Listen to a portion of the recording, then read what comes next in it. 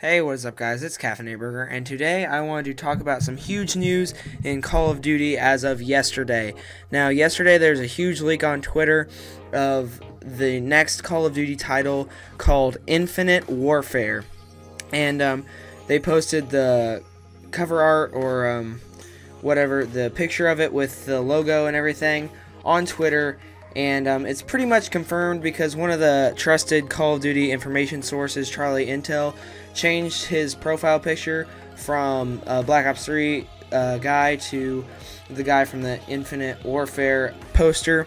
And um, it's pretty interesting and exciting, and I'm just going to talk about some of my thoughts and uh, what some of the things mean. So, first of all, Infinite Warfare seems like a name that could go anywhere. Like, Space is infinite, and that is what a lot of people are thinking. Plus, in the picture, which I'll have these pictures linked down in the description below. I can't put them in the video because of copyright issues. However, I will have them linked. Um, so the guy in the poster is holding a uh, helmet, like a space helmet, and uh, that kind of gives us the idea that it's going to be somewhat in space. And um, he doesn't look too too futuristic, so maybe it could be a boots on the ground type space. I don't really know exactly. This is all we can get from the poster. But he's holding that and uh, he's walking like kind of towards where the pic poster is being uh, faced towards. And um, also above that, which is one of the more exciting things, there's something that says Call of Duty Modern Warfare Remastered. So this leak or rumor is confirmed. Um, if you buy one of the editions of Infinite Warfare, pre-order it or whatever, um, you can get Modern Warfare Remastered, and that is going to be amazing. I thought to myself, what if this is even more popular than Infinite Warfare itself?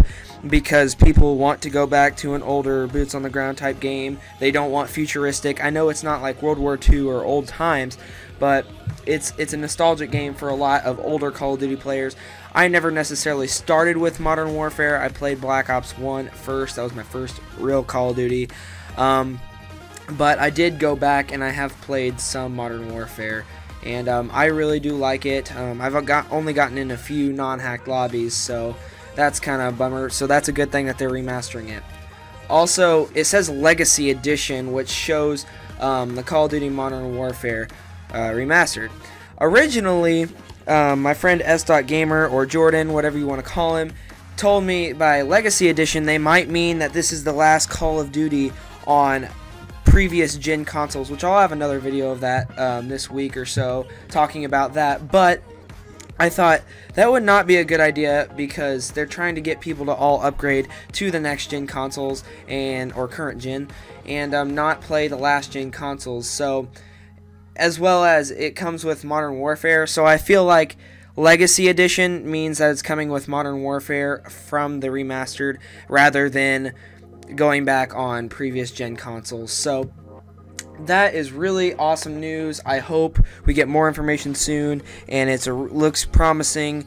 And um, I think they did a right the right thing this time, Infinity Ward. But uh, maybe even COD 4 be more popular than uh, this game in Infinite Warfare itself. Who knows?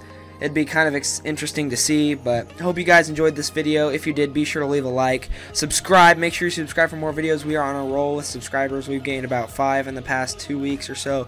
So make sure you guys subscribe and uh, comment down below what you think of Infinite Warfare and COD 4 Remastered. It's been Kaffenatedberger, and I'll see you all next video. Thank you for watching.